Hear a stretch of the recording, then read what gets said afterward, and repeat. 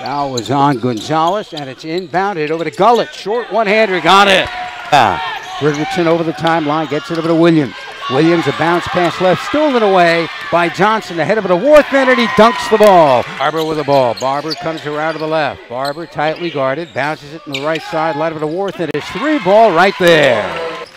Now it's Zincher with the ball, running right-hander, got it. The pass by Moya is thrown away. With it, Gullett bangs with his defender. The one-hander good. He counts. Had a foul. 10-point lead for Barry. Straightaway shot by Costa. Got it. A three ball straight on.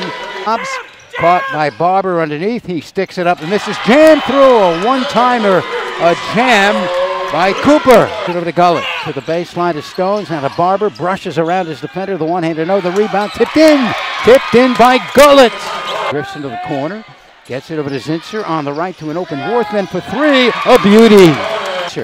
Now to the baseline. It's grabbed by Gullett out to Bar- Barber. He scores a 16 footer by Barber. Circle. Worthman over to Kostick. Kostick head of the key for Gullett. Three pointer good. A high arcing three point straightaway by Gullett. It is PBA ball. Worthman to the right baseline. He backs in. Turn around one hander. Good by Worthman out of the block. A spinning shot. To catch it, catch it at full speed. Now he's tough to stop.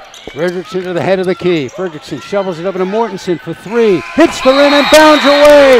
And PBA has moved on. PBA has stunned, shocked the Barry Buccaneers. The number four seed has upset the number one seed. A terrific win for PBA.